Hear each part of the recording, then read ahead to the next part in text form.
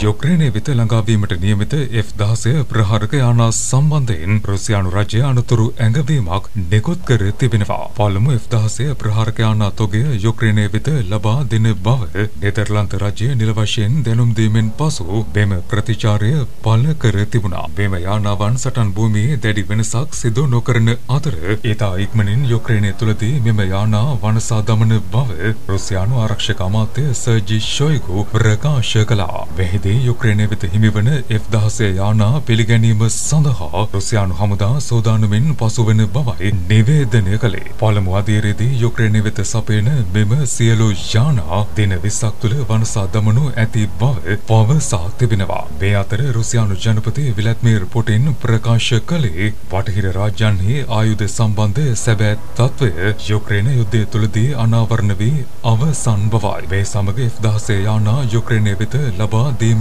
මගින් සටන් භූමියේ පැහැදිලි වෙනසක් සිදු කළ නොහැකි බව පවසා තිබුණා. මෙම යානා යුක්‍රේනය වෙත ඇතුළුවීම සමග ඒවා පැහැදිලි ඉලක්ක බවට පත් කරනු ඇති අතර මෙය බටහිර රාජ්‍යන්හි ජනතාවගේ බදු මුදල් වනසා දැමීමක් ලෙස නම් කර තිබෙනවා. වඩා දියුණු බව ප්‍රකාශ කළ බටහිර රාජ්‍යන්හි සන්නද්ධ රථ යුක්‍රේන සටන් භූමිය තුළදී පහසුවෙන් වනසා දමන ලද අතර ලබා දීමට නියමිත F-16 යානාවල ඉරණමද පැහැදිලිවම ඊට සමාන බවයි ප්‍රකාශ කළේ. මේ සඳහා රුසියානු හමුදා සතුව සැලසුම් පවතින බැවින් කෙටි කාලයක් තුළදී ඉලක්ක සපුරා ගනු ලබන බව පවසා තිබෙනවා. නෙදර්ලන්ත අග්‍රාමාත්‍ය මාකර් රෝඩ් ගත වූ දිනේ ප්‍රකාශ කළේ F-16 ප්‍රහාරක යානා 18ක් යුක්‍රේනය වෙත යොමු කිරීමට ආසන්න බවයි. මේ සඳහා සියලු කටයුතු අවසන් අධීරයේ පවතින බව දැනුම් දී තිබෙනවා. බලපත්‍ර කිහිපයක් පිළිබඳ අමරිකානු අනුමැතිය ලැබීමෙන්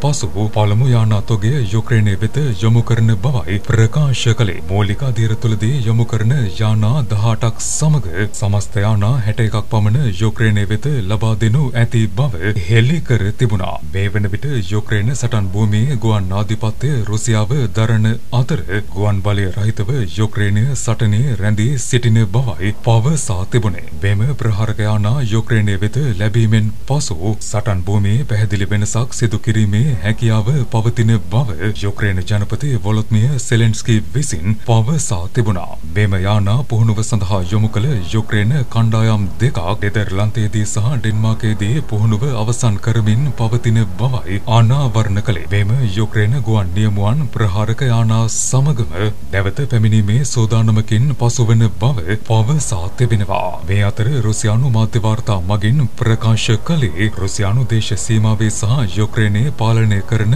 කලාප තුළ ගුවන් ආරක්ෂාව වර්ධනය කරමින් සිටින බවයි. මේ සඳහා පැහැදිලි හේතුවක්ද හෙළිකර නොපවතින බව පවසා තිබුණා. මෙහිදී මරියුපෝල් මෙලිටපෝල් ඇතුළු ප්‍රධාන නගර වෙත විශේෂ ආරක්ෂාවක්ද වර්ධනය කරනු ලබන බවයි නිවේදනය කළේ. මේ F-16 ප්‍රහාරක යානා යුක්‍රේනය වෙත ලැබීමට පෙර අනුගමනය කරන ආරක්ෂිත පියවරක් බවට සැක මතු කර තිබෙනවා. කෙසේ වෙතත් මෙම යානා සඳහා අවශ්‍ය ආයුධ පද්ධති වෙනුවෙන් දැවැන්ත පිරිවැයක් දැරීමට බටහිර පාර්ශවයන්ට සිදුවනු ඇති බවයි නවතම වාර්තා මගින් සඳහන් කළේ. යුක්‍රේනය සම්බන්ධ අරමුදල් හිඟය උත්සන්න වීම සමග මෙය ගැටලුකාරී තත්ත්වයක් බවට පත්වීමේ හැකියාවක් පවතින බවයි ප්‍රකාශ කළේ.